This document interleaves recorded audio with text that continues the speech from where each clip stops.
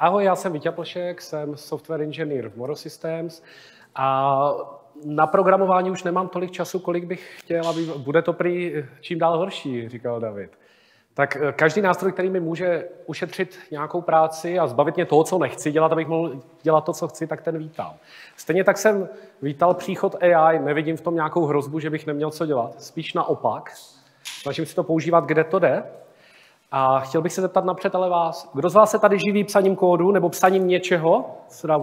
Super. Eh, kdo jste vyzkoušeli nějaký AI nástroj pro vývoj? Dobrý, víc než polovina. Kdo ho používáte denně? Hmm. Co ten zbytek, proč ne? Moje zkušenost, když se ptám kolegu, tak říkají, hele, vyzkoušel jsem jako něco velkého, no mi to něco odpovědělo, pak to lhalo, tak já to radši budu dělat po staru. Jo, to je jako, dá se říct, trošku i moje zkušenost, ale já jsem si našel určité výseky práce, kde, kde mi to šetří čas. Potom. Já to nestihnu. Povím to, jo, povím to tam. Jasné, to tam půjde. Rozumím. Uh, já jsem se nakonec ustálil na dvou nástrojích, přestože je tady obrovský rozmach všeho možného. Já to ani nestíhám sledovat, ale říkám si, ono to nevadí. On ten stolář uh, taky se jde podívat na nové fresky do Hornbachu dvakrát ročně a ne každý den, tak jako to, to zvládnu i s nima. Ale používám je opravdu každý den. GitHub jsme uh, Copilot nám tady ukazoval minulé. Milan Lempera, tehdy to vypadalo tak všelijak, ale od té doby se dost posunul. Eh, jak Milan, tak Copilot teda. Je to, je to plugin do IDE, který hlavně funguje sám od sebe, takže nemusíte dělat nic a dokončuje vaši myšlenku. Tam je důležité předat mu tu myšlenku a on ji dokončí. Když to uděláte dobře, tak velice často to dopadne.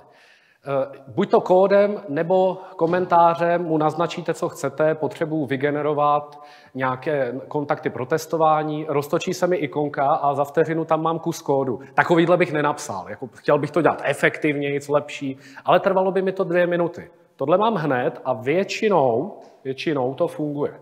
Když se mi to nelíbí, má tam v postranním panelu ještě další nabídky, já si z toho něco vyberu a hned ona funguje, takže můžu můžu přejít k té reálné práci, ne psát ty nesmysly. Líbí se mi na něm, že jako jeden z mála nástrojů, které jsem zkoušel, drží kontext přes soubory. Takže já začnu v jednom souboru a pokračuju přes ostatní, ale nabízí něco, co dává smysl.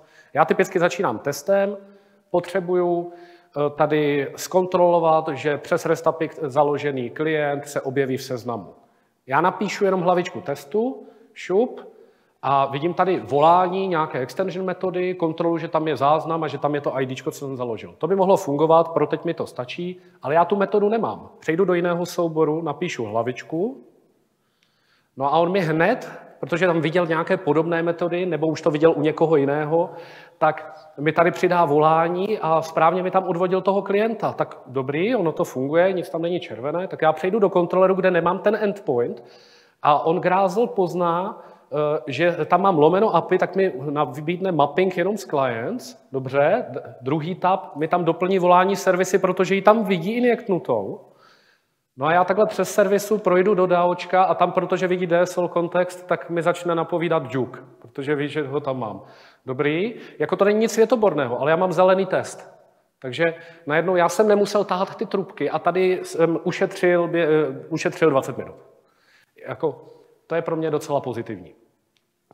Eh, když potřebuji nějaké složitější konverzace, tak jsem většinou chodil dřív za kolegy. A oni byli na mě trošku naštvaní, že zdržuju s takovýma malichernostma, které si neumím vygooglit. Eh, a na to mi sedí ChatGPT. Nikdo ho před rokem neznal, nebo skoro nikdo, dneska ho pravděpodobně zkoušel každý. Není to nic světoborného, ale co většinu lidí naštvalo, je, že přestože umí konverzovat, tak hrozně je ukecaný a lže. S tím se dá něco dělat.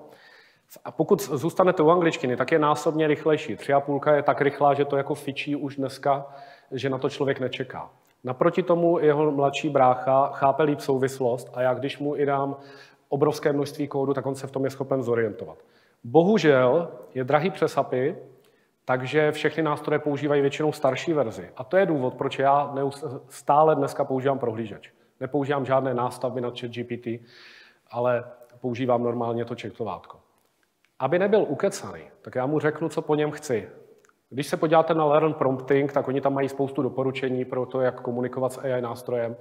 Já mu řeknu, trošku se vychlubím, že jsem zkušený software vývojář, ať mi nevysvětluje blbosti a tím výrazně zkrátím to, co mi píše. Eh, řeknu mu technologie, které používám, takže on mi tam nebude patlat Python, když ho nechci.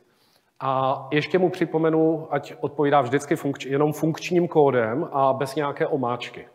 A tady tenhle prompt nebo nějaké modifikace mi často stačí, že ty výsledky pak vypadají takhle. Uh, pardon, uh, malá vsuvka. Uh, často jste určitě viděli příkazy jako hurá, teď si vygeneruju celou aplikaci. Tohle podle mě ne, není ta správná cesta. Jediný případ, kdy jsem to v reálu vyzkoušel mimo práci, je, když jsme s dětma dělali šifrovací hru, každý tým měl udělat jeden, jedno písmeno z šifry, dát to dohromady do hesla Tigra, někam to zadat. Říkám, no tak něco naprogramuju. Tak ano, řekl jsem mu, vygeneruj mi jednoduchou aplikaci, kde budou čtyři políčka vedle sebe, aby se mezi nimi dalo předcházet. Nic komplikovaného, ale psát bych to nechtěl, ono z něho něco vypadlo, můžu s ním konverzovat, řekl jsem mu, že to má širší, že to dá, má dát na střed že tam chci pozadí, vypadlo z toho tohle, děcka si pípli kvérko a utíkali. Bylo to rychle splněné, super. Ale v práci tohle opravdu používat nechci, protože ten kód stojí za prd. Dost často. Já ho používám jako takového brigádníka. Jako Emila, který dělá práci, kterou já bych nechtěl. Uh, Bešové příkazy jste používali všichni. Pokud ho mám ohnutého, tak bez omáčky je to docela v pohodě. Dej mi příkaz na ukončení procesu na 80-80 šup. Funguje, nemá co na tom zkazit. Čím méně píše, tím víc to je většinou správné. Uh, uh, automatizovatelné tásky, které, nebo, uh, nebo rutinní tásky, které nechci dělat. Chci založit strukturu adresáře, tak já jim ji takhle popíšu, řeknu mu, do podadresářů Kubernetes mi dej git keep, šup, vypadne mi tohle. Tři minuty ušetřené. Tohle je jako to gro toho, kde já se snažím ho, ho používat. Uh, nechci, abyste četli ty texty, spíš tu myšlenku se snažím předat. Nebo zrovna včera jsem potřeboval rychle rozchodit, eh, rozchodit přístup do bucketu v Google Cloudu z aplikace. Měl jsem tam vytvořený bucket, měl jsem uživatel, no mi to nefungovalo. Říkám, Ježíš Maria, asi oprávnění, ale jak je napíšu? Tak já jsem mu tam prdl prostě ten Terraform script, řekl jsem mu, že chci oprávnění a jediné, co mi dal, je tady tohle. Šup, aplikace funguje, pustil jsem tam to testery, mohl jsem jednat na Open Space. V review mi pak třeba někdo vyčte, že jsem tam na něco zapomněl, ale funguje to. Uh, co mě se líbí, tak já jsem tíhnul k tomu, že jsem mu říkal, mám problém, vytvoř mi kód, který ho vyřeší. Ale on umí udělat spoustu manuálních tásků bez toho, aby jste spouštěli nějaký kód. Reálný příklad, co jsme řešili, měli jsme v databázi záznamy, které jsme potřebovali propárovat na soubory na file systému. Super, zákazník nám dodal 400 souborů, jenže v nich byly překlepy, ty názvy byly zkomolené, každý měl jinou příponu. Jak to chcete dělat? Chcete to programovat, analyzovat, dělat ručně? Hele kámo, tady máš entity, IDčko, název, propáruj mi to na tyhle soubory, můžete se podívat, že jsou v tom překlepy dinner in restaurant, dinner restaurant, medieval flight versus medieval fight. No a řekl jsem mu, propáruje dohromady a dal jsem mu příklad, a vygeneruj mi takovéhle příkazy. Když, když mu dám příklad, on si s tím velice dobře poradí, původní název přemenuj na ID a zachovanou příponu. Šup. Za půl minuty 300 souborů přemenovaných asi s dvěma chybama. To je jako to, to kde já dneska vidím to groto. Samozřejmě eh, mám tendenci si s ním rozpovídávat o tom, když třeba, eh, když třeba eh, potřebuju sdílet, sdílet přihlášení v distribuovaném systému, ať mi dá nějaké řešení. A já řeknu, Ježíš Marie, jak mě nenapadl, nemohl napadnout Redis zrovna. Nebo mi dá nějaké řešení, které by mě nenapadlo a já ho proskoumám potom, jestli dává smysl. A de facto už se ho ptám, když mi nefunguje Gradley build, nebo proč mě to hlásí konflikt Javy. Často se stane, že na to přijdu, když to napíšu a že ho vlastně používám jako medvídka. Takže uh, my máme medvídka na Moravě, Kačenka je v Čechách. Ale, ale uh, zjišťuju, že šetří tím práci nejen mě, ale i mým kolegům, kterých se neptám já nebo ostatní kolegové na to, jak vyřešit nějakou věc, protože mají s kým si pokecat.